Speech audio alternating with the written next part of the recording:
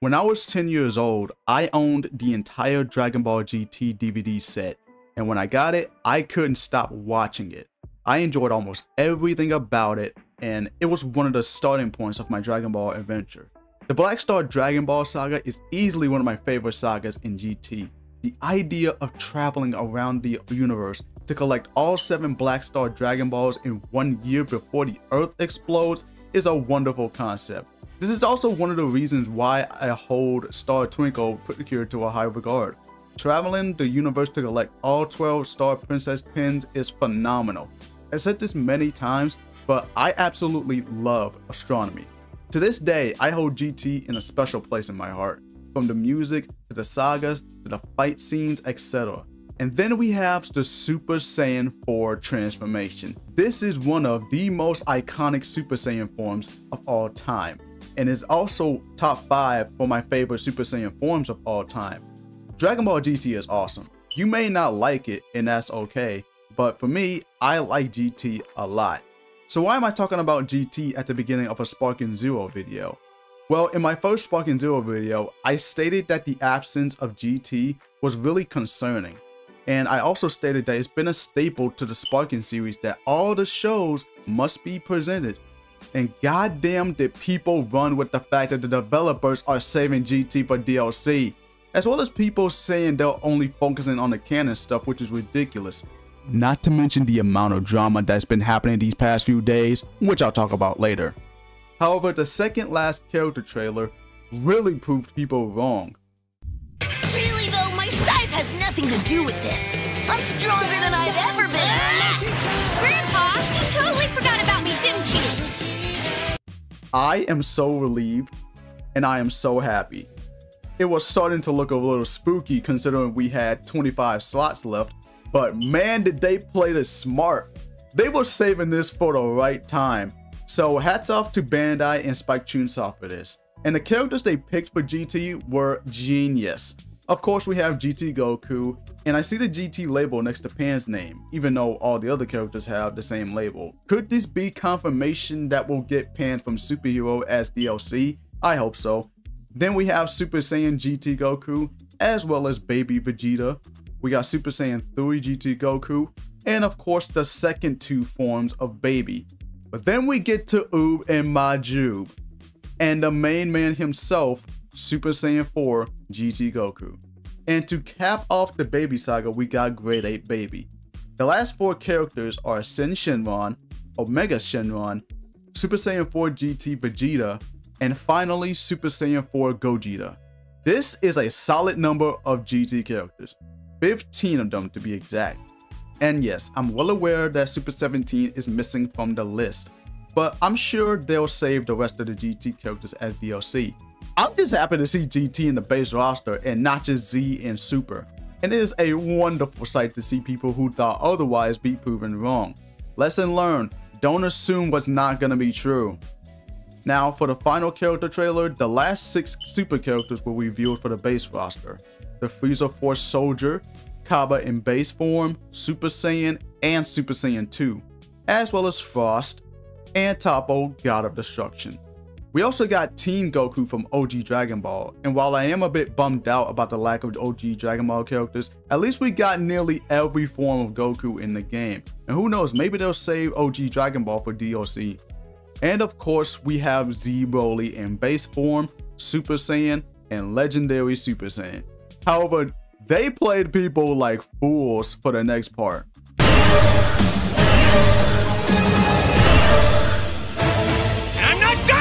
As if having GT in the game wasn't enough, they pulled a Deus Ex Machina on us, revealing almost all of the movie characters.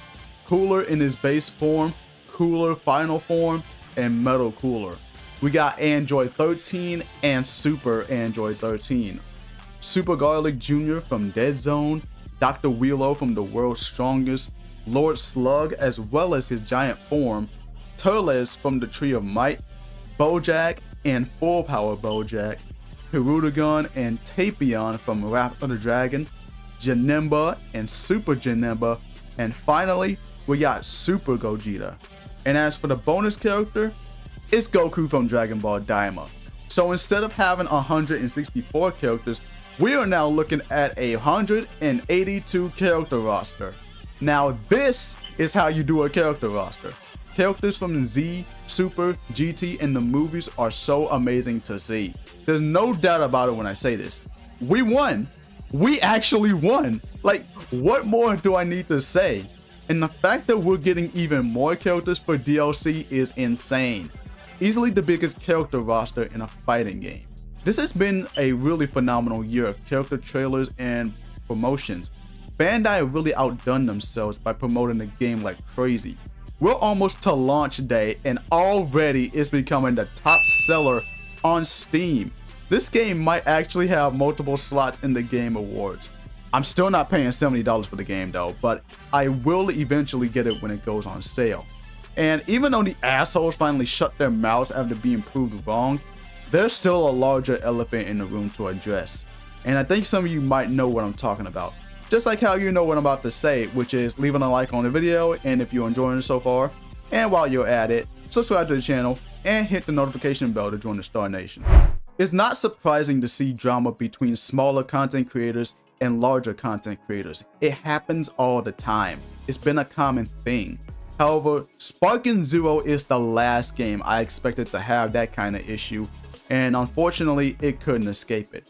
There have been some anger coming from the smaller content creators, believing that it's unfair that the larger content creators not only get early access to Sparking Zero, but also early information about it as well.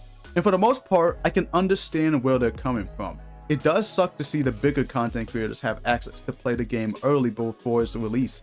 If anything, Bandai should have hooked everyone up with a worldwide demo. That way everybody can give their feedback on what's good and what can be improved on.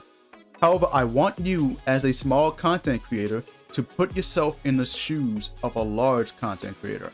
If you're someone who has over a half or even a million subscribers and was given the opportunity to promote a game from a video game company, you are going to take that chance. There's no doubt about it. You have to understand that these larger content creators grinded their way to the top and they deserve their flowers. But this isn't the biggest issue they have. It's more so them believing that there's no chance of making it because of the larger content creators taking up most of the content. And in some ways, I can understand that as well. However, that does not mean there's no hope for you to blow up. You gotta look into what other creators are doing and try to do a different spin on it. Or find what the larger creators are not doing and jump onto that. And the way you gotta look into it is not just by having fun, but also to look at it as a way of passion and making money. You gotta have the drive for wanting to make content.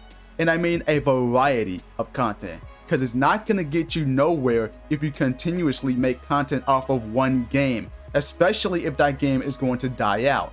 And Slow Plays is a good example of that, because he relied too much on Xenoverse 2, even though that game was running out of hype we were more focused on other Dragon Ball games, Fighters, Kakarot, and even Dragon Ball in Fortnite. And yes, I'm well aware that he covered that. However, he, as well as Burko and Super Saiyan Cabby 28, ran Xenoverse 2 down to the ground to the point where barely anyone is watching their content even after jumping on the Sparking Zero train.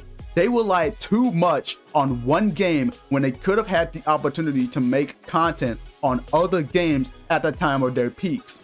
And that's something you gotta avoid. Sparking Zero is going to be an amazing Dragon Ball game and the absolute successor to Budokai Tenkaichi 3. But please don't rely too much on one game as your source of exposure. Make variety content. Make content that's gonna last Take time to do research on what you should do and how to execute it properly, and you'll have a shot at garnering both attention and fan base that will tune into whatever video you make.